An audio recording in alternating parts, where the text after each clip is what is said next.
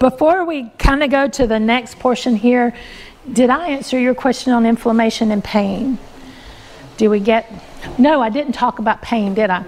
Uh, I'm going to give you a few things about pain, and this is inflammatory pain. This would not be like neuralgia pain as much as um, inflammation like arthritis or a um, few other types of pain. Uh, inflammation causes so much pain in the body um, that I want everybody to know a few ways to do that. Where's Kent? Is Kent still here? yeah, he must have. He must be playing somewhere. That's fine. One of the one of my favorite is poke. We did talk a little bit about poke because it works on the lymph and the inflammation. That's a really good uh, arthritic uh, remedy. And when I say arthritis, I mean osteoarthritis. Rheumatoid arthritis, although there's a hundred or so varieties, 60, something like that, varieties of arthritis, a rheumatoid arthritis is an autoimmune issue. So it's not going to be a, a a, a, mechanical issue. That's going to where you're going to have to work on your immune system for that. Um, but if it's a mechanical arthritis from an injury, from inflammation, from overuse, from wear and tear, and your bones are grinding together, diet, as we talked about, liver, and then for the pain itself, the pain is a symptom. The pain is a symptom, it's not a disease. Pain is not a disease. What do we do? We treat the pain. We don't treat the inflammation or the cause of the inflammation. So if you're getting back to that cause, take care of that. But what you would do to help with the pain would be the poke root that we talked about. For y'all, unless you're experienced with poke, do the berries that I just gave you a, the, the procedure to handle the berries where you start out with three and then you can freeze them or dry them and then take one extra a day till you get up to about 10 or 12 And, and what time of year do you get the berries? the berries will be coming out in a month or two. So uh, and they'll go all the way through till late Just buy them from the health food. you can't buy poke. No, it'll kill you they won't sell it very ripe, very dark purple. Yeah, this is going to be one you're going to have to go to a field and find because you won't be able to buy it. I have it as a tincture and I do sell it if you and it's it's pretty helpful. I also sell the poke root, but it's drop dosage where you start with one drop and you increase to two drops and it's better to go twice a day with it. So one drop in the morning, the next time you'll take it will be one drop in the morning, one drop at night and, and you'll go to two drops in the morning, one drop at night, and then two drops in the morning, two drops at night. You're increasing one drop a day, and you'll wind up with about six to eight drops a day. So it's very potent. Yes, there is one growing. If you look off the patio, there's medicine right out there. If you look off the patio here to the left, this way, that one single stalk that's about this tall, that's poke. It's got a big stem, and there is a, an old wives' tale that if it's got a red stem, you, if the stem is turned red, you can't eat it. It's not true. What was our What was our thing about eating it? Less smaller than your hand will be tasty. If it's bigger than that, it's going to be more bitter because any plant that bolts, and bolting means it makes a stem or it, it makes a flower. It goes to flower. Any stem, any plant that bolts like that will um, be more bitter. Yes, ma'am. Less than 10 inches or so. 12 inches, yeah, if it's 12, 10 inches, something like that, just as it's a shoot before it starts opening up. Another one for pain, I did talk about another one. Uh, What about the root? You didn't mention about, what do you use the root in poke? You have to be very careful with the root. I do know people that, that achieve toxicity just by handling the root. So it's very potent. Uh, if you're going to dig up a root, and they'll be big, I mean, they're monster roots, um, handle it with gloves. Most people don't have a problem, but you don't know that till after that first exposure. And I do know somebody who was pretty sick for three days after, after exposing herself to the root like that, a, a raw bare root. So even when I do it, I handle it with gloves. I chop it up away outside like this. I don't want to breathe it in. So yeah, it's pretty potent. So at this stage, no offense to anyone, but you didn't run a marathon the first day you learned to walk, right? So so that one does need a little special care. So work with the berries first and get used to using the berries and used to what the plant will do for you, and then you can move on to the root. And the next time I come talk, if I come again, I'll we'll talk about the root. But but take your baby step on that plant. That's a definite intermediary plant. The root, the root part is. Okay. Um, and then the devil's walking stick, that would be the the bark on the devil's walking stick. When I cut it down, and it's a perennial, so it'll come down if you cut it all the way down to the ground. I'll get one about like this, chop off the little branches that come up at the top, and then I'll knock off the um, the thorns that are coming out between the joints. Remember, we talked about how if you look at it, it's a jointed plant that looks like this, and the spikes are in between. What does that look like? A bone or a or the spine. So the pain coming out between the spikes are coming out between the joints, like that. And that's where most people have their back issues is um, between the joints with the discs. So that's where those spikes come off. And I'll just take my machete or whatever I chopped it down with and just go down through there and knock off the thorns. And then I can peel it pretty easy. And it's so thin you don't have to get the inside bark. You can take both barks. just be aware if you're going to make a tincture or you're going to make a tea that only about two thirds of the amount of the material that you actually put in there is the medicinal part. So since you added the outer bark, you'll just have to do a little extra compared to what you would if it was just cambium layer. Does that make sense? Because if you're including the outer bark in there and it takes an ounce, well, if you've got a quarter of an ounce of outer bark, then you've only got three quarters ounce of the good stuff. Does that make sense? Okay, good. Um, that one, if you want to order something called Devil's Claw, that's very good. I get a lot of questions about wild lettuce. Uh, wild lettuce grows everywhere. Love it. Opium lettuce is what it's called a lot of times. But that's very much a misnomer that you see those advertisements talking about opium lettuce because the strength of lettuce is about an aspirin. So, yes, it does help, and it especially helps with sleep through pain. So if you have pain and you just can't go to sleep um, because you're hurting so bad and you don't want to take a, a sleep pill or a pain pill, you can take the opium lettuce, which is just a prickly lettuce. Uh, Lactuca, there's several different varieties of Lactuca, and I use them all. But you can take a, you can take some of that uh, lettuce, and it's going to help you sleep through that pain meaning it's not going to take away the pain, it's just going to help bring on sleep despite the fact that you're in pain. it doesn't really do anything for the pain itself. So how do you fix it? no, well, yes, you can. You can also powder it, sprinkle it in food, or make a tea from the from the dried leaf. But the real process is you chop it up and put it in a crock pot put some water in there. There's, it's pretty liquidy, so it doesn't take a lot of water. Uh, but you want to simmer it down, mash it up, just keep macerating it in there, simmer it down some more, mash it up, keep mashing it up. It takes about two days till you get a sludge. Then you take and put that sludge out and dry it until it's a tar, and then you'll put that tar in alcohol, 150 proof. So, or 190 proof is what I prefer, but North Carolina, you can, I think Virginia too, you can only get 150 proof. I go to South Carolina and get it where those rednecks will do 190 proof. Hank, Hank lives, somebody called him a redneck the other day because he lives in South Carolina.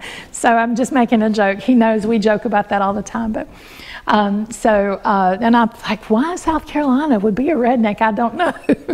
but um, when you go to South Carolina, you can get 190 proof. Uh, and I go to a little store in Landrum, which is down uh, about 20 miles from my house. So um,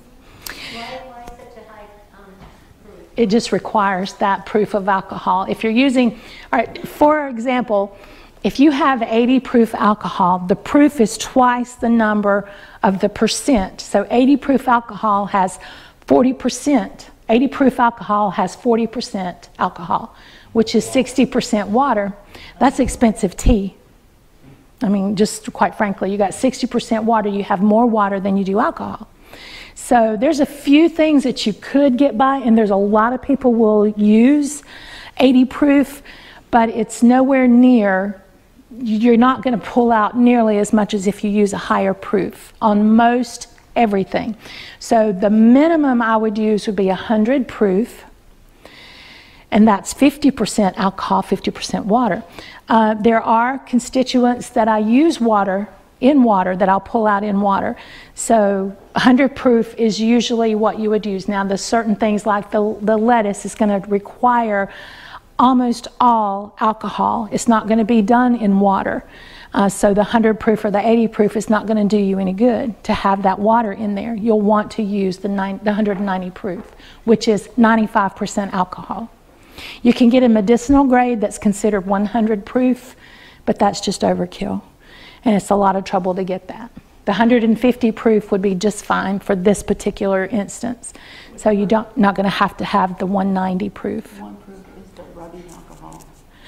Rubbing alcohol is isopropyl, and that's, yes, completely different alcohol. Eth- yes, I'm talking about ethanol, the drinking alcohol that you have to get at the liquor store. Vodka, yes, vodka. We have a joke about vodka, vodka or whatever. I'm sorry. I don't use glycerin simply because glycerin inhibits mineral absorption. So if you're using glycerin in your toothpaste, your, your saliva is not, you're not, your teeth are not absorbing any minerals from your saliva.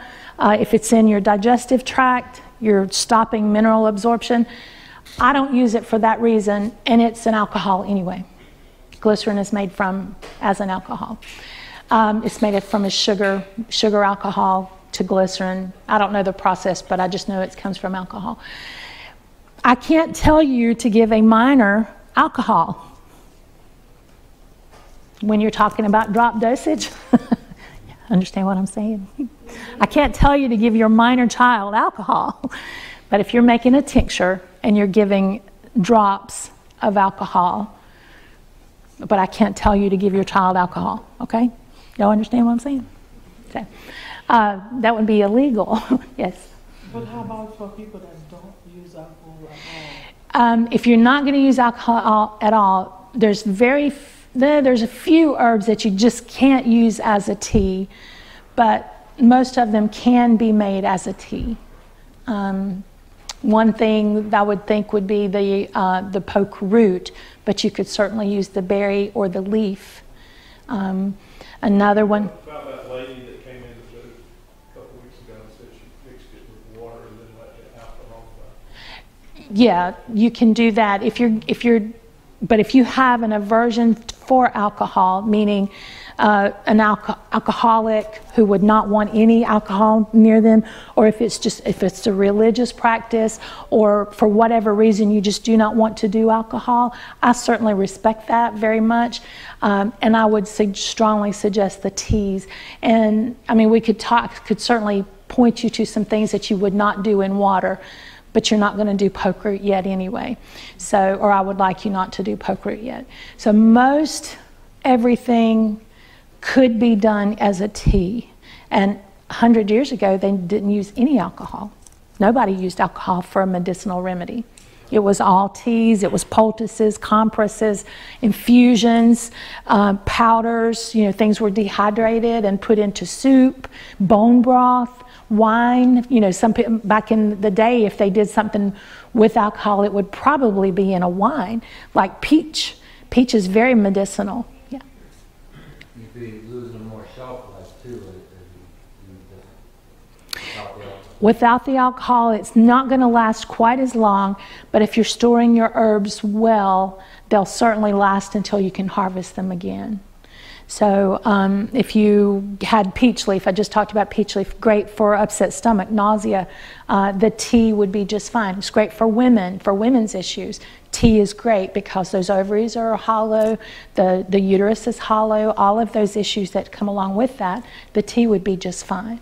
Um, And if you're, if you're storing it, getting all the alcohol, I mean, getting all the alcohol, getting all the water out of it, uh, and storing it well, they'll last several years. So you'll, you'll retain that potency in a dried leaf. Yes, So what does the alcohol actually? Do- Alcohol will pull constituents out that water won't.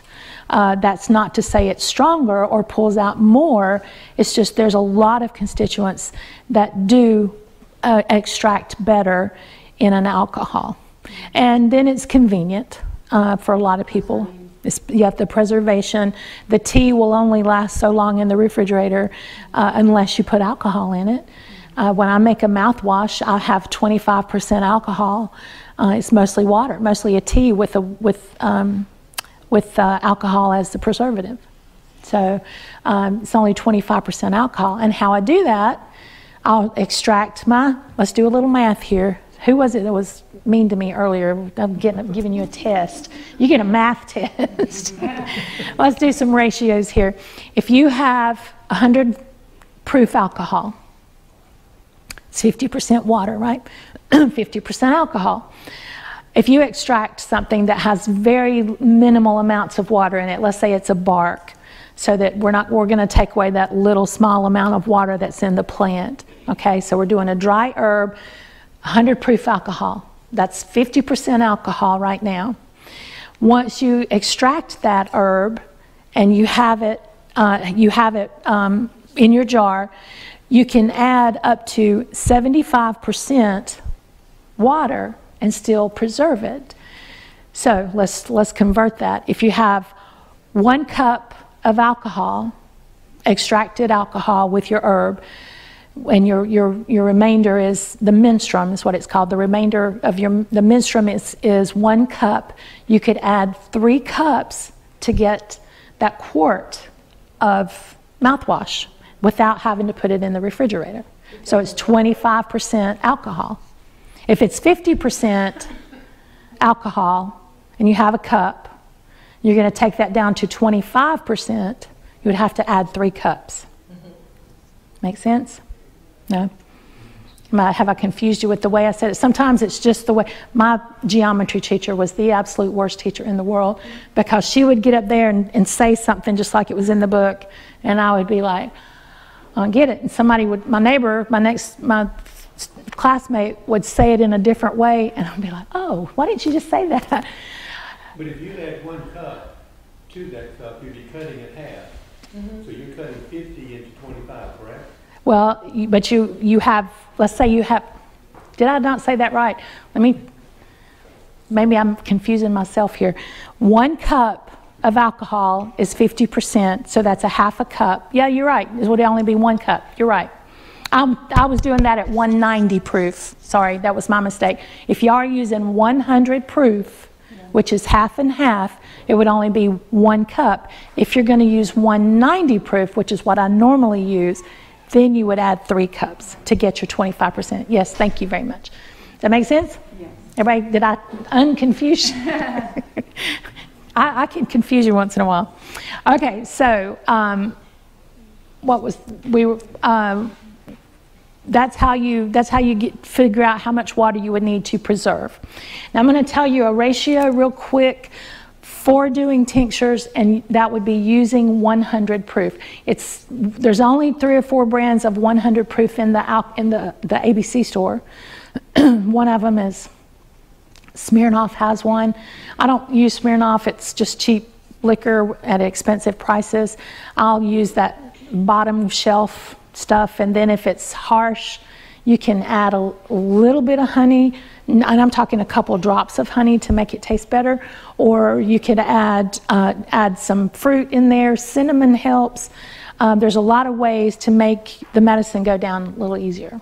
Okay, um, so if you are, um, let's say you have, you're going to make a pint. Let's go with a pint because that would be enough for most everybody in here for your family at a time. You harvest your herb and you have a pint of alcohol. That's 16 ounces, right? To do 16 ounces, you can fill up a jar, like a mason jar, you know, a pint mason jar, stuff it full of herb, and pour your alcohol in. That's a perfectly fine way to do remedies to do tinctures. That's called a folk method, like the old folks folk method. That's what that's called. The problem with that is, it, for me, is I can't repeat that strength or that ratio. I don't know exactly how much I put in there. So to do, if I'm going to do a ratio method, the same way, put the herb in the jar, put alcohol in it, close it up, let it sit on the shelf, shake it every little bit. That's a tincture, right? If I'm going to do a ratio method so that I know how strong it is, this batch to the next batch to the next batch, what I'm going to do is take a one to two ratio on fresh material. And that's a generic ratio. Not everything is going to be that way. Bloodroot, things like that would be completely different. Poke is completely different. But if I'm going to just do the average herb, it's going to be um, one to two. That's one ounce weighed, physical ounce, of fresh herb to two ounces, fluid ounces, of menstruum. And that would be the 100 proof vodka. I very seldom use 80 proof, and I strongly encourage you not to use 80 proof either. Use 100 proof. So it's a dollar more, but it's worth it. Okay, so that'll be two ounces of fluid to one ounce of fresh herb. Problem with that is, if you just take this and stick it down in a jar, you're not going to have enough liquid in there. So what are you going to do? You're going to take and grind this up or chop it up very finely. So if you chop it on your on your cutting board, or if you have a root, you'll want to somehow chop it up with, with clippers or, or whatever, whatever you can do to get it chopped up. And the finer it's ground, the more uh, surface you'll have, the more surface to extract the constituents that you're trying to get. So if you put whole leaf in there, that's going to be okay, but you would have a stronger, more potent tincture if you ground it up to a degree. And I'm not talking about to powder. You just grind it up a little bit so that you have more surface area. Make sense? Just, just hang on just a minute. So that's one ounce of fresh material to two ounces of liquid for fresh material. Okay? Any questions on that? Okay. What if it's dried? How much would you use? There's no liquid in this at that point. It's dried, almost powdery, crunchy, no pliability. It's going to break up, crunch up. What would you use? It would be one to five. Sometimes it'll be one to four. But on average, and you can do it one to four if you'd like and have it just a little more potent, but one to five is the average. And that means one ounce of that dried powdered or dried crushed herb and five ounces of liquid. Okay? Do the same thing, shake it up, let it sit on your shelf six weeks. There are some things that you can use in two weeks, but that's the exception. Usually everything is six weeks. I'll let some things go a year just because I'll make four or five at a time and I'll take one down and the rest of them sit there for a year. You shake it every day? Mm-mm. How often do you shake it? You get around to it? When I think about it. I use uh, laboratory equipment, so my tinctures are usually done a lot quicker and they're very potent. So I know from one batch to the next how much is in there. So get you a kitchen scale um, and weigh out that herb and put it in your jar and then put your tincture, put your alcohol in it. If you're going to use a percolate, a, a soxhlet, a magic butter machine, an extract, which is an extractor, or um, an ultrasonic method, you can do that differently. And those are laboratory equipment that you can invest in, but you do not have to. So I would certainly suggest you just getting used to making your, your six week tinctures. Work with those, find out how they're going to do for you. If you need the next batch to be a little more potent and do only four ounces of alcohol to one ounce of, of herb, that's fine. Now, what happens if you have a real fluffy herb and even after you grind it down, you're barely getting your, your, your herb wet at that point? You can do it twice. And that will happen. You'll have something, you grind it up like a mullein. If you grind up mullein, it just grows, it just keeps growing. so I don't grind it, I just leave it, I just chop up the leaves, you know, just chop them up with scissors, make it smaller so that I get more extraction area. But to grind it, I would have a problem. But let's say you ground it and you have a lot of fluffy herb and that four ounces, you've got one ounce and that four ounces of alcohol is not cutting it you can do it twice. So uh, you can put your four ounces in there and then come back and put four ounces again. And that doesn't sound like the right ratio, but it works. Okay? Or you can cut it in half and do two ounces uh, of the herb in your four ounces of alcohol. Uh, let me say that again. You can do a half ounce in your four ounces of alcohol and then come back and do the other half in that same amount of alcohol and you would just add a little bit of alcohol, about 25%. If you're doing one to four, let's say, if you're doing one to four, you can add about 25% just to moisten the herb, and you haven't changed your ratio. Is that confusing? You're just going to put some moisture back in there into the herb with a little bit of alcohol that doesn't count towards your ratio. Make sense? Anybody confused about that? You let it sit for the six weeks before you add the other? No, I would let it sit for about an hour, just a couple of hours, enough to absorb so that you have moist material at that point. But you're back at zero on the moisture. It's not way drier than it's supposed to be. You just bring it back up to zero and then you add your four ounces at that point. Does that make sense? Anybody, did I confuse anybody? Okay.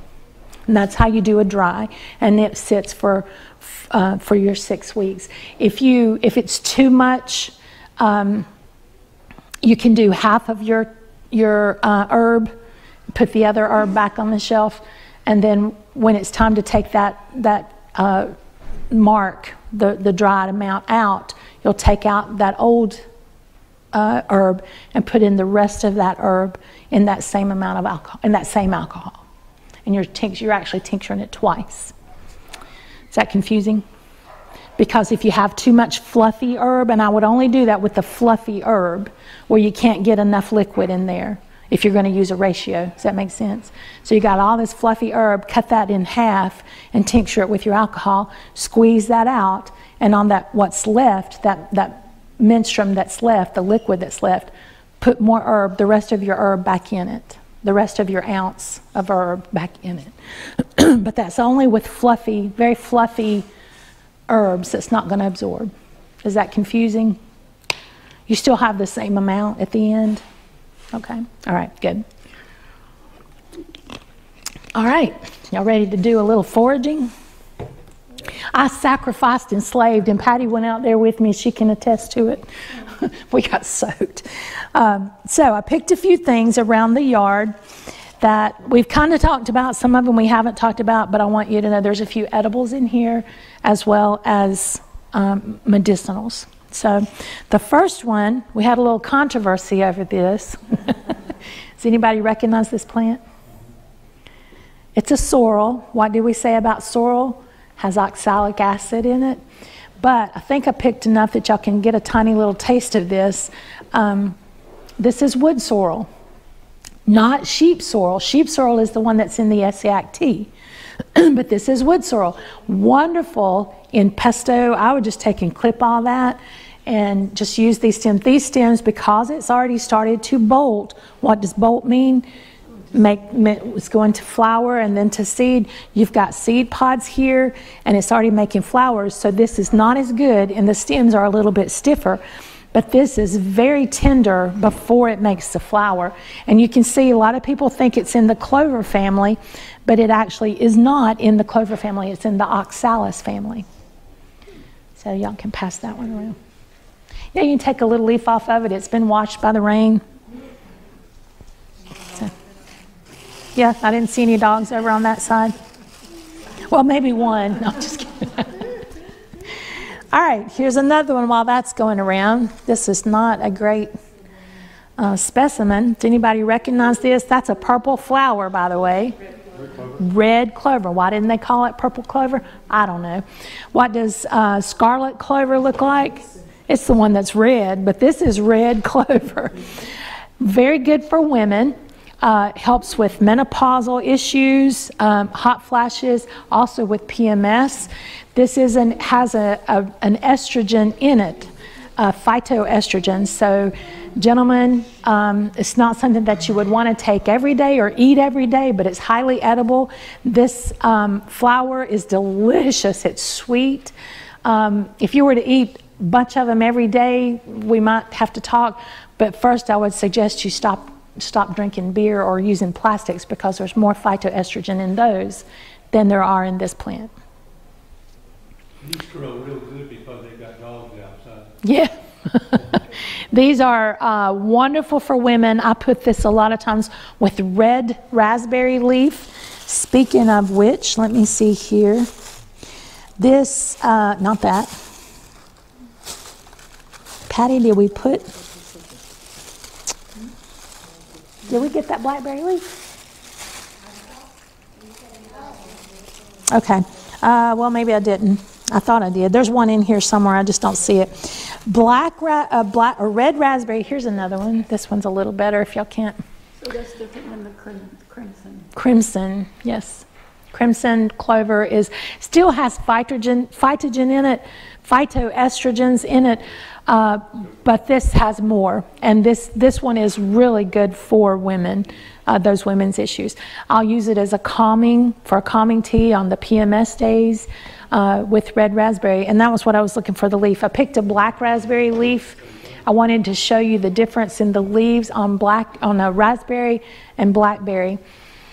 Blackberry, they're leaves of three, both blackberry and raspberry. Should you let it be? That's not always true. The leaves of three let it be, you know, for poison ivy. It's not always true because blackberry has three leaves too.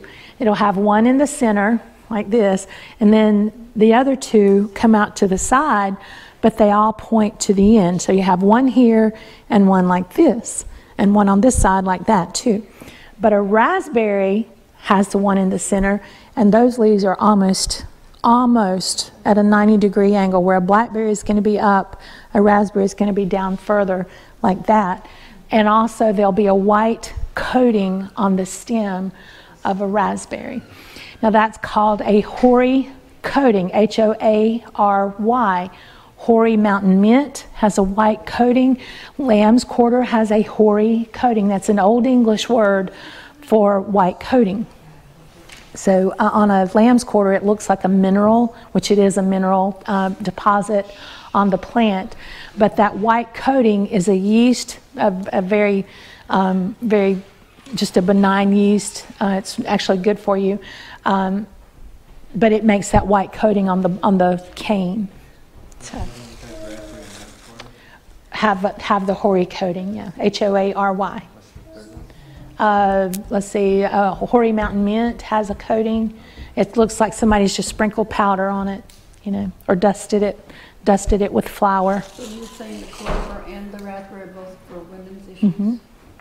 Ra- red raspberry is very good for women's issues. Doesn't mean men can't take it. Uh, just like pine pollen is very good for men's issues, um, and it's a testosterone balancer. It's an androgen. That's a word to look up and, and study. It's an androgen will balance testosterone issues, but women need testosterone as well. So just because um, usually as women age, it's it's a testosterone estrogen balance. Um, young women, or excuse me, young men, I would never give um, pine pollen to. But men, once they hit about 40, they need a little bit of a boost, uh, a little bit of of uh, energy, and a little bit more oomph that that testosterone gives. Pine pollen is really good for those. Dodder is another one. Does anybody know what dodder is? Dodder is that gold, looks like a gold thread that just you mat up and wad out on top of plants and things. It's actually a parasitic plant that'll kill the host plant, but it's it's uh, highly astringent and it's very good for testosterone. So, dodder, D O D D E R, like doddering old type. Yeah. That's like the orangey. Orangey, goldy thread. Looks like somebody just took and threw out threads everywhere. Spaghetti stuff. Yeah. That's a parasite. You got it? I need some. No, how do you harvest pine pollen? How do you harvest pine pollen? how do you harvest pine pollen? Get the bees. Slow. Do what? On the car, yeah. Bodybuilders in California will go out there and licked their car. So uh, that's how they actually found out it was good for testosterone. Very good for testosterone. Um, if you will go in the spring, when about March is when we start down in South Carolina, it, we kind of follow the line because it takes a lot of catkins off of pine trees to get enough pine pollen. So when I say a lot, we'd probably cover this rug in catkins and get maybe a quart of pine pollen. So it takes a lot, but you only take a little. You only take like a quarter teaspoon. Um, but when you see the catkins, everybody know what a catkin is. That's not the that's not the cone. The catkins is the gold little gold looks like a cone on the end of the, the branch on the pine trees. Um, that's the catkin, and that's the male part of the, the pine tree. The cone is the female part that has the seed. This has the sperm. Um, so the catkin is actually uh, when it releases, and you can you can tap it, and it'll just make a powder. You want to get it before that, so you have to time it just right. You want them when the when the catkins are firm and uh, full of pine, uh, full, full of the pollen. Uh, but you, you want to get them at that point when they're almost still juicy. And if you taste them, it'll be very tannic in your mouth, very astringent uh, and citrusy. Uh, so that's when you get it. But if you've kind of flick it and it, you've, it's releasing the pollen, you've passed prime, that doesn't mean you can't still get some of it. Makes sense? So Marchish and certain varieties of pine are much better than others. Some of the catkins will be huge, like I've got pictures of them laying in my hand like this. But if you find them on the little tiny Virginia pines, they'll be about this big. But you want them when they're swollen and full and hard and firm. Um, that's when you want to get the pine pollen. Very few people are allergic to pine. That's not to say that you're that you won't be allergic to it, but the reason is even though it's wind pollinated, that that pollen particle is too large to to get into where you would cause the the, the aller- allergic issues. So it's usually not the pollen that people are allergic to, unless you've tested that you're allergic to pine or pine. But then you'd be allergic to everything on the pine. You'd be allergic to if you touched pine tar or turpentine or um, pine saw cleaner type cleaners, you would be allergic to all of the pine. And there are people that are, uh, but there's other things that are blooming at the same time alder, oak. Um, elder, certain elders are blooming very early like that, that put out a much more allergenic pollen than the pine. But if you have been tested for that, then you are allergic to pine. All right, let's see. We'll just go ahead with this one. You remember we talked about, somebody said this earlier. Locust, which one? We talked about two. What kinds of locust did we talk about? Remember? Black locust and honey locust. Which one is this? Hmm? This is the black locust. See the little thorns? Black locust has little thorns on it. So when I pass this around, just be aware of that. It's got little thorns on the on the branch part. This is the one that you can only eat the flower. Only eat the flower. On the honey locust, it's got the big wad of thorns that are about like that. You can only eat the pod, and it's actually a source of sweetener.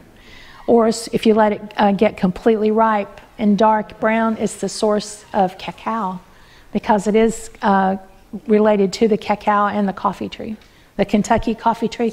In Virginia, do you have Kentucky coffee trees? They hardly grow down here.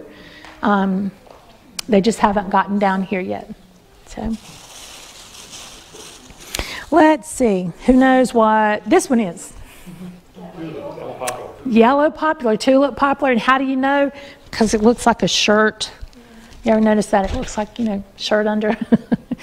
That's one way. And it also has little yellow flowers on it. If y'all notice the flowers that are just about gone now, you can still find some. You know what family this tree is in? This is a magnolia. This is a deciduous magnolia. Very the the um, the flowers on this one is a very good antibiotic. So if you get those flowers, which is just about past now, but if you were to get those flowers and tincture those, you would have a jar of antibiotic that would work really well for skin issues or um, lung issues, respiratory. But it's in the magnolia family. Other deciduous magnolias, what does deciduous mean? Loses its leaves. Deciduous magnolias are very good for pain. You'll want the fruit, which is the cone uh, after the flower's gone, or the bark, and that's a deciduous magnolia. That would be cowcumber, cucumber magnolia, Fraser magnolia, um, tulip poplar, but this one is the least potent, so I wouldn't bother with it for pain. You, oh, golly, yeah, let me show you. Uh, God, it's been so long since I did that. This is so cool. You kids would love this. Let me see. I about forgot how to do it.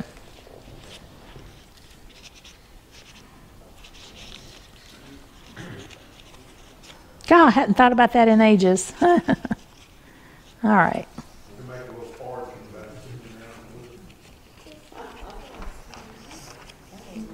Or to put on your doll if you can find a big enough.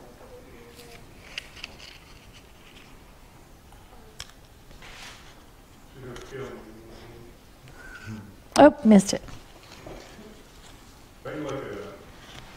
Yeah, y'all can look it up. It's on my website.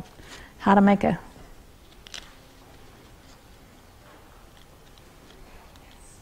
Well. So, that's your little basket. Okay, we picked this one. This is one of my favorites. What is this? Anybody know? It's a false, dan- false dandelion. False dandelion. Hmm? Say that again. When you mow it, it doesn't. When you mow cut it. very well. Doesn't cut very well. This is what I would use for green spaghetti. Now, when you go, when, very early in the spring, when you go to pick these, they'll break down here, but the older they get, because it's bolted and the stems get stiffer, it wants to break up here. But when you break it, you can use it for, um, when you break it, you can use it for henna. It'll just show up as little. We used to play with it when we were little. See the little spots forming? We used to would just draw stuff on it. My mama would get so mad. I don't know why. But these break where they break, they're tender, and it's called cat's ear. Sorry, I cannot remember the Latin name. It does. That's a latex. See how it's getting on my. Y'all can break some of this off, and we used to just break, keep breaking and making the, making little designs on us. So you see the little dots. Not my age spots, but the. So, uh, but this is a cat's ear because this looks like a cat's ear, oddly enough. Uh, but you can take and saute these in butter in a frying pan, cast iron skillet. You know, the earlier in the spring they'll be longer, but the later in the season they go, they get shorter where the where the breaking point is here. Uh, and these are very meristematic, which means tender, tasty bits, palatable. Meristematic is a word for you too. So this is cat's ear, and you could you could harvest these, and when they're long, they're like spaghetti. My my son, who's 35 now, uh, used to love cat's ear spaghetti, and I would make it with a lemon uh, piccata or, or like a lemon butter piccata sauce, and you know a piccata sauce has capers in it, and what I would use for the capers is daisy buds. Daisy is entirely edible, so. Leaves are very delicious, yeah, and the little buds before they open, you can just pop those buds off like this and um, make capers with them. Very easy to make.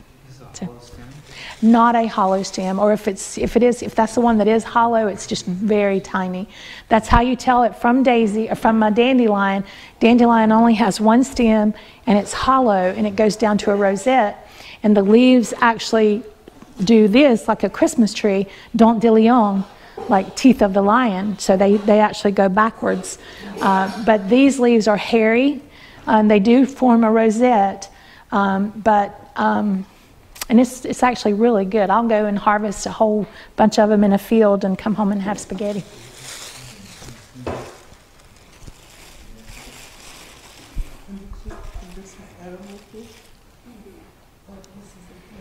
This is the, um, the blackberry. Now this blackberry has five. A lot of times you can't see these leaves down there, but if you'll notice, see how they're pointed toward the tip? That's, I won't pass this one around because there's thorns all over it. But, and this, this margin of the leaf is serrated. What's the margin? Edge of the leaf. So that's your botany. I, the reason I repeat those things is that's your botany. A good book to learn botany is called Botany in a Day by Thomas Elpel. E L P E L. Is that a compound leaf or a simple leaf? Um, because these are individual leaves, they're simple. But this is a leaf cluster. So, Can you repeat that again? Botany in a Day by Thomas Elpel. E L P E L. All right, what is that? This is prickly lettuce, and the reason, can you see why it's prickly? Because it's got prickles on it. This lettuce, and then uh, there's another one. Uh, this is uh, Lactuca. Um, I forgot. Uh, there's two. One doesn't have the prickles on it, but you can use them both in a salad. I don't use this one as much unless you're going to cut out that stem because of the prickles on the back. But you can use it in a salad. You can use it as a cooked green, like wilted lettuce uh, with an oil on it, or you can make your tincture or use it for pain as a powder and put it in a capsule. But it's much more potent if you cook it, like I talked about, cook it down and then take that tar and break it up and put that in a powder in your capsule. I made a tincture with the wild lettuce last year, and of course I wasn't faithful in shipping it every day. So it's gonna be close to a year. Is it okay use it? Yeah. The longer you leave your material in, and I'm guilty of this just like anybody else, the longer you leave the material in, it can degrade and cause cause degrading. So you may have a, a an inulin at the bottom of the jar. A number of years ago, I broke my leg, and in the hospital, they had me on a little bit of morphine, and they sent a whole bag of it. But I, I didn't want to do that, so we, Nancy made up wild lettuce tea, and I went from that morphine to that tea. Mhm. Never knew the difference. Helps it helps a lot. Um, but people are fooled by the opium effect you know the, all the advertisements that talk about opium lettuce. It's not opium it's not opium quality. It really helps with pain through sleep or sleep through pain When should a person make it? When it's more mature or when it's maybe this high? I've seen somebody, believe it or not, I saw this picture last week of a friend of mine.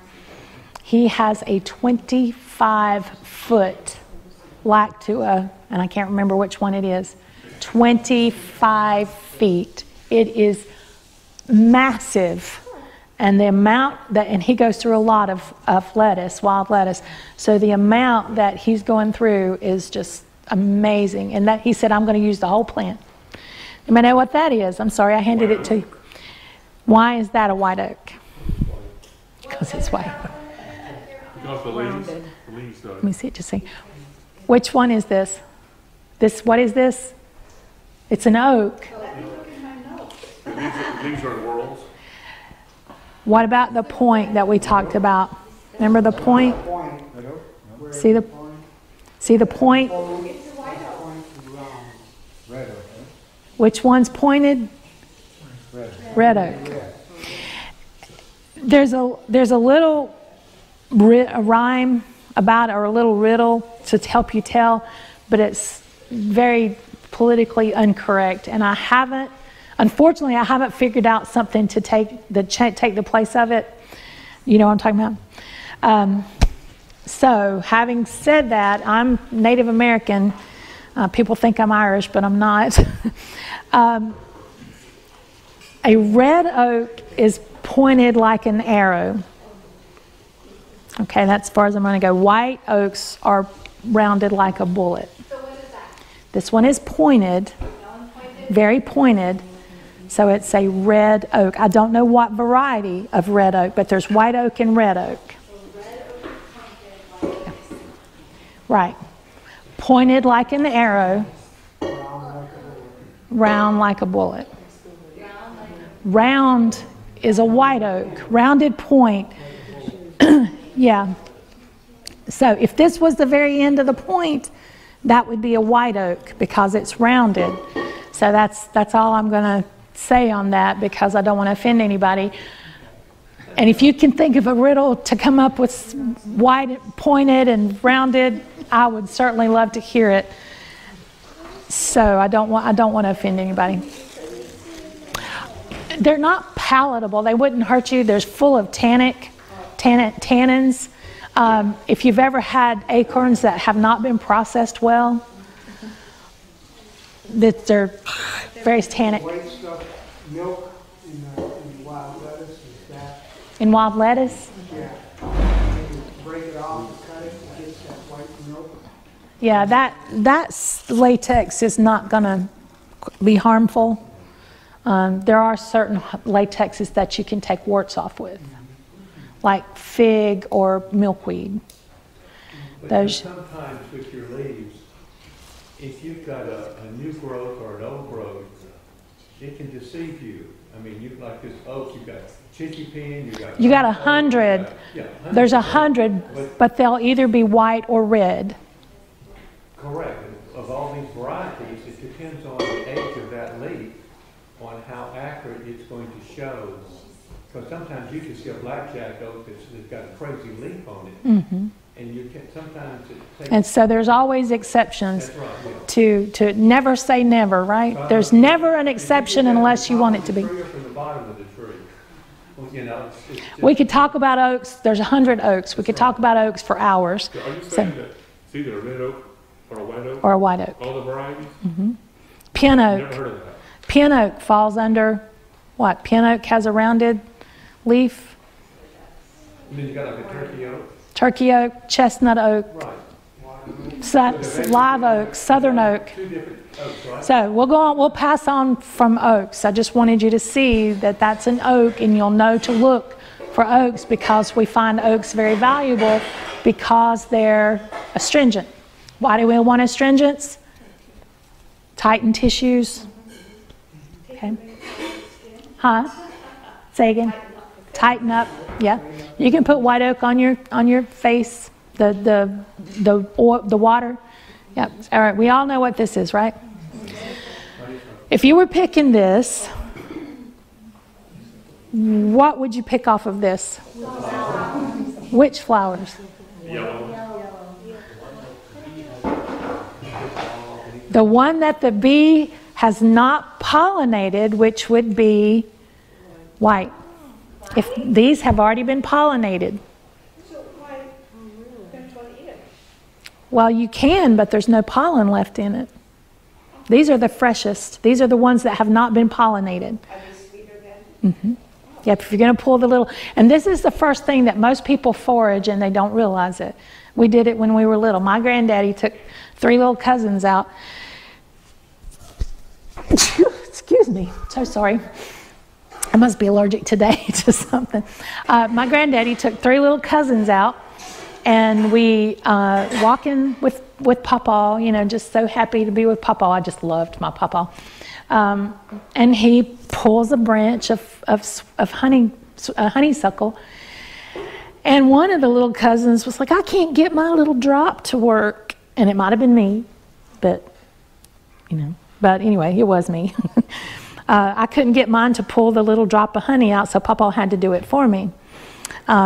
Because I was little, I was the littlest cousin, and they just hated me because I always was whining, or some little- some little cousin was always whining. Might have been me, but anyway, this is honeysuckle, so you'll want to. I don't have to pass this one around, right, y'all? So just the honeysuckle and the white one, because what, if you get the one that's already pollinated, it doesn't have the medicinal? They won't have nearly as much. Won't have nearly as much if you get the pollinated one. So if you're picking your honeysuckle branches and you come back to the house to take your blossoms off, you'll want to get most of the white ones. You you can leave a lot of the yellow ones because especially the older looking ones, if they look really old, obviously they're old and it would be better to get the, the newer ones. So all right, so does everybody know what this is? This is a sensitive plant in the in the sensitive because when you touch the leaf, they will close up. I'm trying to open this up. This is the mimosa that we talked about earlier. So if you look at these leaves, and this one was right out here, if you look at these leaves, now I can take one or two of these and put them in a glass of water and let them sit there for a while and drink it. And this is very uplifting for me. A lot of people would have to take maybe this much to, and put it in their glass of water and let it sit for a couple hours before they'll feel an effect. But I am very sensitive to nervines. So, and this is a nervine. So this is the, the tree that's right out there, right straight outside the window if you see it across the way there. And it's a very uplifting plant. This is what I use in my grief formulas. And if you just are having a day that's just bogging you down and you just want to be able to go, okay, I can breathe, keep on going. That's the plant that I would use. And it's the leaf, the flower, the bark is even more potent, but why bother? Because the leaf and the flower work really well. Mimosa. I'm sorry, what? That's the cool water one. Yeah, I do a tincture with this as well that works just fine. But if you're going to make it as a tea, um, I just put a few leaves in water. And you can dry those leaves uh, and then put it, you know, just take them out in the wintertime, you know, on a really sad day. Sad is a, is a real thing, you know, with the weather related, you know, no sun. Sun attention, what does sad mean? Sun, something deficit? Seasonal affective disorder, yes, not sun. Uh, it's really good for seasonal affective disorder. So the honeysuckle, did you say that was good for the immune system with the Forsythia, sweet gum tree, Very, it's a, it's an antiviral. the antiviral? Yep. All right, so anybody know what this leaf is? Sweet gum. S C H W E E T. Um, what do we say about sweet gum? Hmm? Cov- COVID, that, that sweet that sweet gum ball looks like a COVID molecule. Hmm? It's an antibiotic. It's got shikimic acid in it. No, I was teasing. That was just teasing. Sweet gum. it's sweet. Sorry. It's sweet. Sorry, that was just a little joke. Yeah, that looks like a maple leaf because it's pointed. Is, is that a maple leaf? That one looks a little weird to me. What is that? Does anybody know? It's maple. There's about 60 maples too. So uh, there'll be, and there's also a box elder that's called a maple. So. Uh, sweet gum has five, one, two, three, four, five, and a maple will have three, Oh, three lobes. All right, everybody knows what this is, right? You know what that is? You know what that is? Is that the plantain? That's the plantain. That's the plantain. the sweet gum, it can, it's just the balls that you're using that I heard described before, but how about the leaves? Not the leaves. Not the leaves. You won't use the leaves. You can use the balls uh, when they're green, or if you get them after that and it's still early, you can get the seed itself. But I prefer I prefer a whole plant, so I will use the ball as much as possible and just chop it up with because they're really hard. Just chop them up with uh, garden shears. Fill a jar. You, this one is so potent you don't have to do a ratio. You're going to have a potent uh, remedy. Fill your jar two thirds of the way full, and then fill it all the way up with PGA. It does require PGA pure grain alcohol, at least 150 proof. PGA is technically 190 proof, but you can't get 190 in North Carolina. So you're saying, what do you mean fill it up two thirds and then fill it all? What do you mean? Fill it up two thirds with the with the sweet gum pieces. Yeah, with the pieces that you've chopped it. Yes. And you can't use No.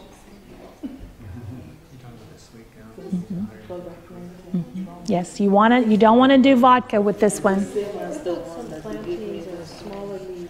Mhm. Those are plantain root. There's actually 20, 30 or more types of plantain.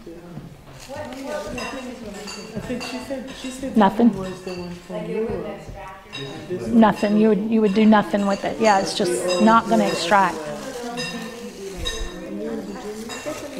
Right, does anybody know what this one is? How about if I put this with it? Dogwood. What's dogwood good for? You don't want to eat it. But dogwood, especially the fruit, when the fruit is created, or the bark, but you want to let the bark dry for a year. Very important. You want to let the bark dry for a year. But if you use the red berries, the fruit, you can use it as an antiviral, but it's better as a medicinal pain reliever. Again, for inflammation. Make sense? As a tincture? So- so you As a tincture. The red berries and save them for a year? No, you can use the red berries, but if you're going to use the bark, which is more potent, you have to let it sit for a year. You have to dry it. You have you have to keep the squirrels and the birds from the, to the berries. I have a I have three or four in my backyard that are loaded, and maybe I don't have any squirrels. Maybe the Stand upside down in our tree right outside of our kitchen. to get them. They hang upside down and smoke the berries. Really, one of them must have arthritis really bad. They're pretty healthy looking squirrels. What happens if it doesn't sit for a year? It'll just make you sick. You really need to let it sit for a year. It'll just make you sick, really sick. The berries come on after Like the for the sap to mm-hmm. dry, Yeah. Do what? is it for the sap to dry? Yes. Yes, the sap will make you really sick. It's the tox the toxicity of it while it's fresh will make you sick. The same will happen if you wilt cherry bark or cherry leaves. Cherry is actually edible, not edible, excuse me. You can make a tea from it, wild cherry, black cherry, but if you get it while it's wilted, it can be toxic. Not toxic that it'll kill you, but it'll kill livestock. It'll kill a cow. You want it either fresh or dried. And I mean by wilted, that's a couple of days. Like if you'd pull it and get home with it and it's not quite as fresh as it was, that's okay. But if you if it's gone for a couple days without processing it, it has a toxicity because when that when that toxin gets to a certain point of, of being dry it's concentrated just enough but when it gets completely dry it's gone so once it's concentrated that's why it's that's why it's um Neighbor, yes he, he's got several cows, and he goes out after a storm or something, he looks, if there's any cherry trees across. got to get your cherry trees goes off your and picks 'em fence up and gets 'em out of Yep. there. yep that's true So you said the bark either dried or fresh? hmm So the fresh. on the cherry On the cherry, but on the, on the, um, dogwood, it has to be dried. has to be dried Yep. all right here's a, a culprit that a lot of people blame for allergies. No. Goldenrod goldenrod when it's actually the ragweed that's causing the problem. This gets so much blame. But you could take you could eat this and it's not going to you can eat ragweed. You know you can eat ragweed before it makes a pollen before it blooms you can eat the leaves of ragweed it's very edible it's in the asteraceae family just like a daisy just like goldenrod um, Does it help with the allergies? Not, are you talking about ragweed? Yeah. Ragweed will actually take care of certain allergies. This is my number one go to for allergies. Now, you could make a tea out of these leaves. It's better if you get the unopened buds. You're going to get more potent tea. And I make a tea just fine for allergies. Sinuses are, are cavities for a reason. Cavity means it's hollow. So if you're uh, if you have stuffed up nasal allergies, um, you can take the the you did that on purpose, didn't you? uh, trying to trying to prove a point there.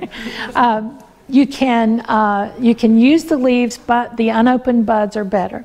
Now, if you're going to dry your your goldenrod, you want to get unopened buds because if you get the buds that are already open, you're just going to have fluff. So this is, and there are 600 varieties of goldenrod. So. Can you eat the leaves in a salad? Mhm, You can.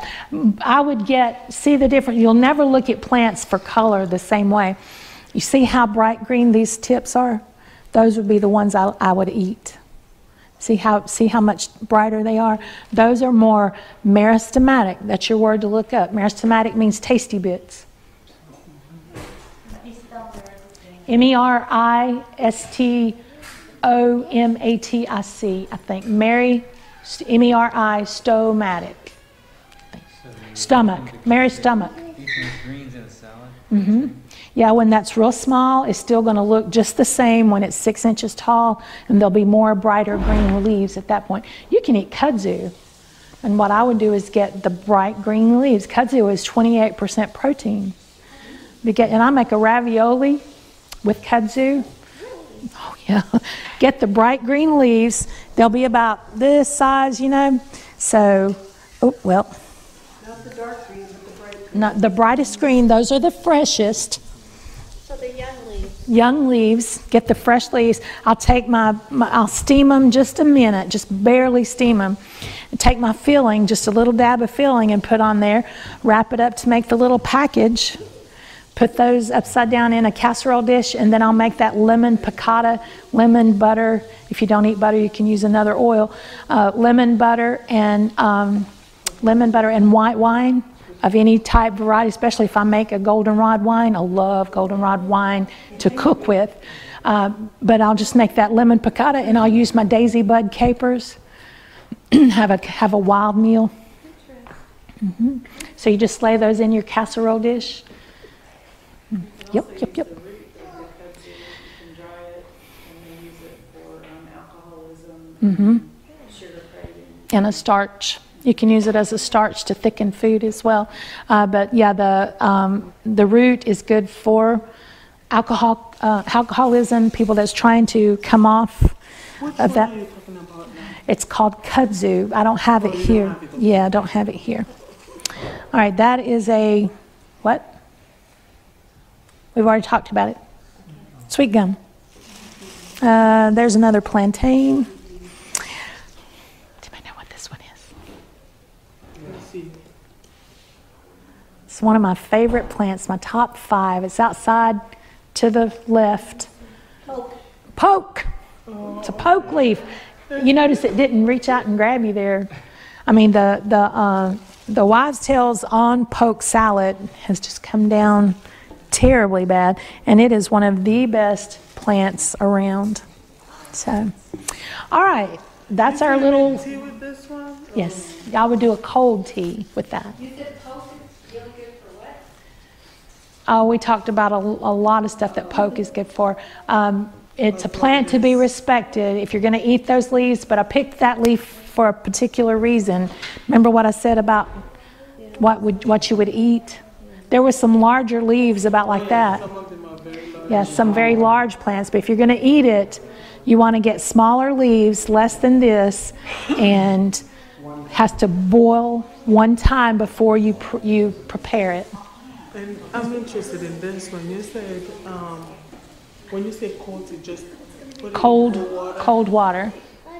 That's yeah. all. hmm And let it sit for about 30 minutes, an hour, even overnight. Hmm? For dep- it's, yeah, it's for an uplift. Yeah, I need some of that. Drink a water for an hour or two. yeah. Yeah. Can you talk about poison, poison ivy and what to do when you get? Poison oak or poison ivy. Also, what's something else that's that's sumac? Do you know how to recognize sumac out of the 200 varieties? Poison sumac has white berries, and your non-poisonous has red berries. And your poison sumac, they're all compound leaves, but the poison sumac has like, uh, seven to eleven leaflets, whereas uh, non-poisonous has much more leaflets. And what's important too is, you know, poison I sumac, need to get the. in between the, the leaflets, the wing branches, Mimosa, yeah. doesn't exist. It's only in the, uh, non-poisonous, in the wing branches. You don't, need- you don't, you don't need that wing, wing branches. That little flat, that little flat. On the on the stem, that's only on winged sumac. It's, it doesn't It's not on exist- every. Doesn't exist on the poison. Doesn't exist on staghorn sumac either. Pardon? It doesn't exist on staghorn sumac either. The winged, yeah, the winged sumac, what he's talking about is on, has everybody seen sumac on the side of the road? Those pretty red stags like this in late summer, it's just sends up a shoot and you're thinking, oh, that would look pretty on a Christmas tree. It's so deep red. Once you, once I've told you this, uh, this description, you're going to see it. And there's sumac out here too. Uh, but it's a, it's a stag. A stag is like a, what's another thing that's a stag? What else is a stag? I'm trying to think. And, well, um, I'm trying to think of something that would be. Hmm? It's a cluster of red berries, and those red berries are very citrusy flavored. So if you got your phone with you, look up staghorn sumac. Well, winged sumac, like he's saying, you've got your, your tall stalk here on the plant. If you look at the plant on the stalk and on the, um, on the branches, it looks like a little wing between each leaf. That's a winged sumac. Out of the 200 varieties, there's quite a few that are winged, but staghorn sumac just makes that, and the winged sumac will, the, the berries will kind of be a scattered cluster like this, but the winged or the staghorn sumac makes a stag. It kind of looks like a torch. You know, the end of a torch, how it's got a wide, you know, a big bulb, was kind of the same. But But the it's. poison does not have the leaf. Right. It, uh, it's, it's bright red, um, grows on the side, grows more on like the edges of forests and things like that. How many times have you seen poison sumac? I have never seen it. I've only seen it once. It doesn't really grow in the Very rare, southeast. Very rare. It grows, it's, well, it's actually prolific in places like Washington uh, State, uh, out west. They have a lot more poison sumac, and in Florida, they have poison sumac with the white berries.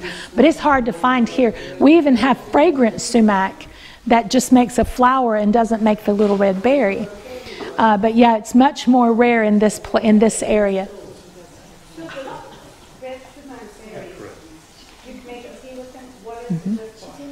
has a high vitamin C. By high vitamin C, it's antioxidant.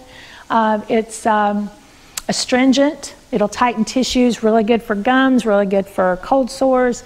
Um, lots of different things. Usually, especially in a gut issue.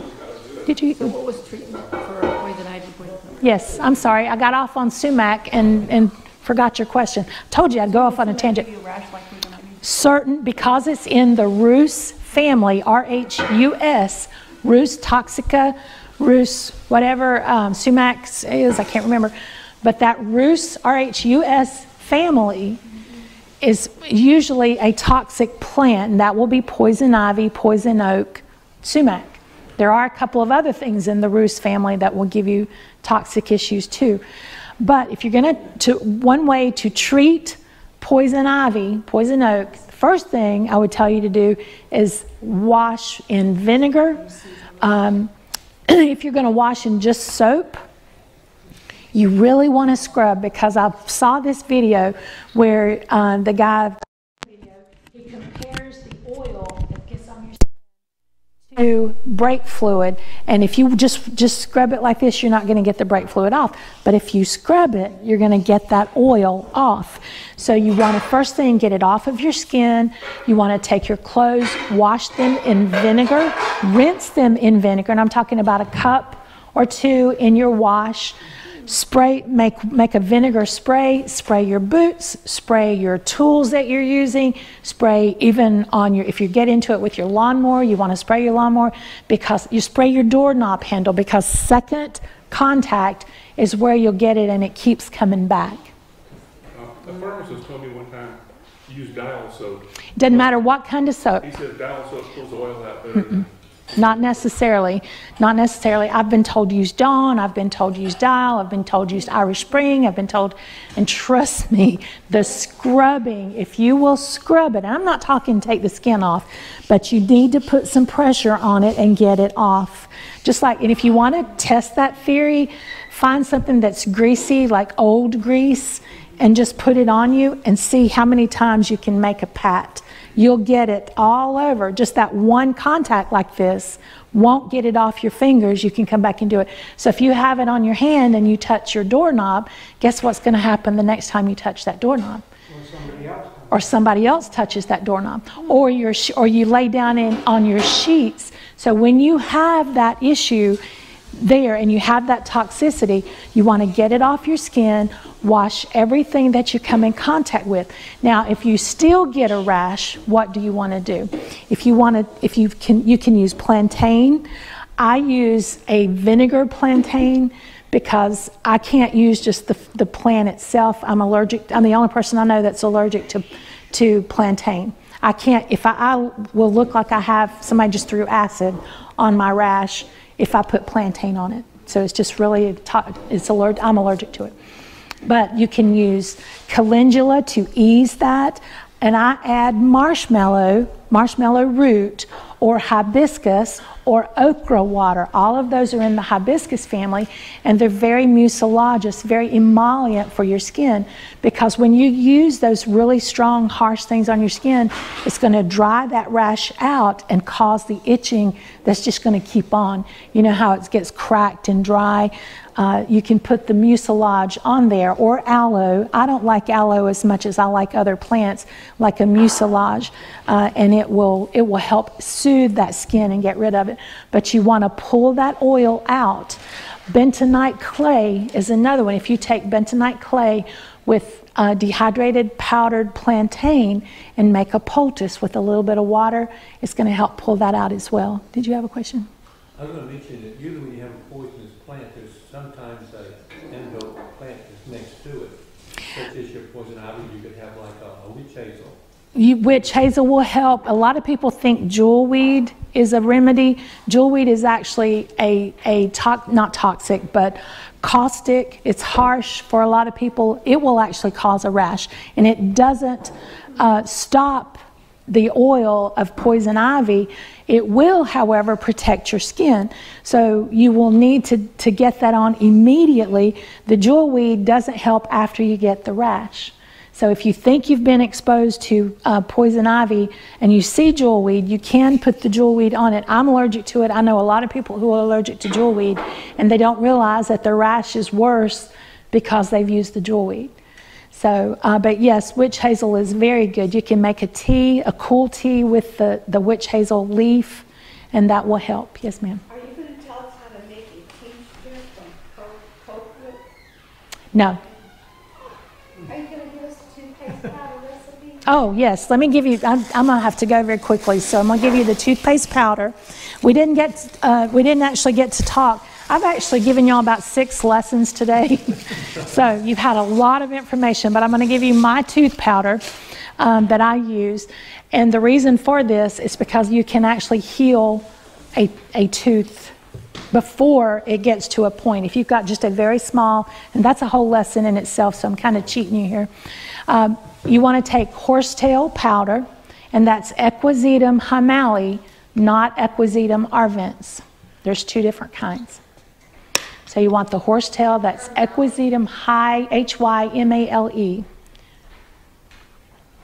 Not. not arvens, A R V E N S E. Hyemale, Equisetum hyemale. So about a tablespoon of Equisetum hyemale. You can get horsetail in the in the health food store in a capsule. So just break open a few of those, and that's really good for uh, varicose veins. Silica is the building block uh, in your is one of the building blocks in your bones. So horsetail is very good for your bones. You can take those horsetail capsules about 10 days a month without causing an issue to your kidneys. So you want to, if you've, um, you got your tablespoon of horsetail, uh, a tablespoon of, or about two tablespoons, excuse me, of bentonite clay. And then you can use white oak bark. You can get white oak bark in the capsule in the in the health food store. And a lot of people will use white oak bark for varicose veins because it does help with vein strength. But I'll use that to tighten tissues in my in my mouth. About a tablespoon. It's equal equal parts. And then you can mix that. If you want it as a powder, you can mix it with baking soda or a mineral salt. Table salt won't do. And never use salt, table salt with iodine in it, ever. That's a, that's a hard, with, never use table salt with iodine. So like? Celtic sea salt, uh, Himalayan salt, as long as you know where it comes from. If it comes from Pakistan, it probably has lead and other toxins in it. If it comes from India, it's not blown up with explosives to, to get it.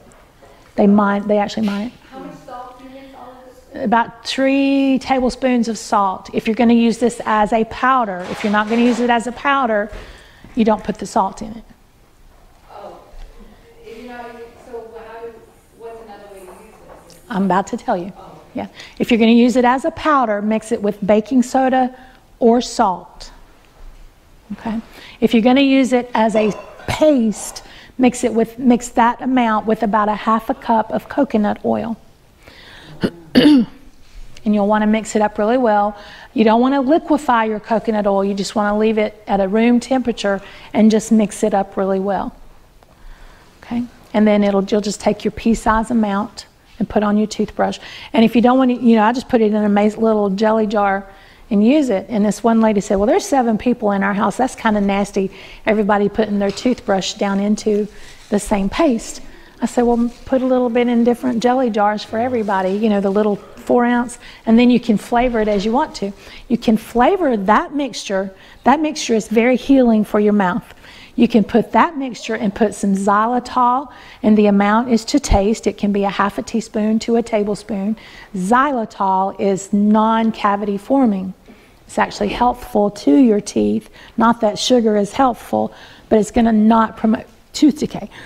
and that's xylitol, anywhere from half teaspoon to a tablespoon, whatever you want.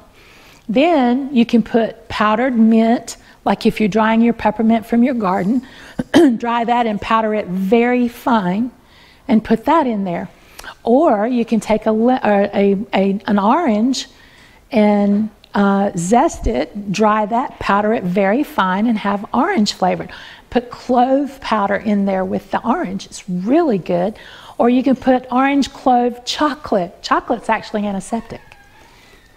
So if you have chocolate toothpaste, man, that is so good. It's like it's like a little after dinner mint, chocolate mint. So all of those, but that's your basic recipe. Um, How and it, is that, like, I mean, that, um, paste?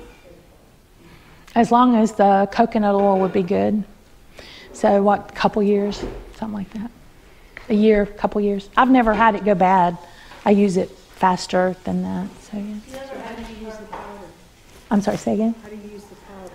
Um, just like you would baking soda. Just on your toothbrush? Yeah, just on your toothbrush. So it's one tablespoon of. Of horse each. Yeah. tail hmm With One tablespoon of all the rest of them too. a half cup of coconut oil with that. And half a cup of coconut oil. Yeah.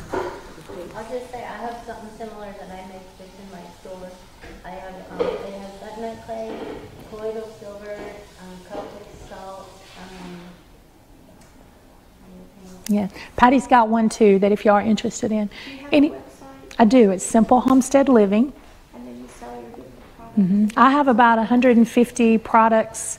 I'll take about 120 with me to shows. We just got through with eight shows in six states. We're a little tired. so, um, but uh, I don't take about 30 to 50 remedies with me because I want to monitor very closely.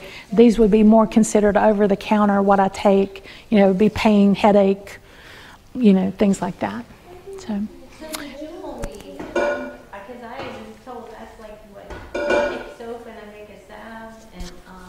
It has a caustic chemical in it that can cause irritation. Only use it fresh. If you use it and you're not having any trouble with it, then continue using it. So, and I'm not here to change anybody's mind about anything like that. So, yeah. If you have somebody that came back and said it didn't work and their rash got worse, that's probably why. And that may only be a very small amount of people. I know I'm one and I can't use jewel weed, and I know other people that can't either that really have a problem and their rash actually gets worse than before it gets better. So, yeah. All right. Any other questions or comments that? Thank you.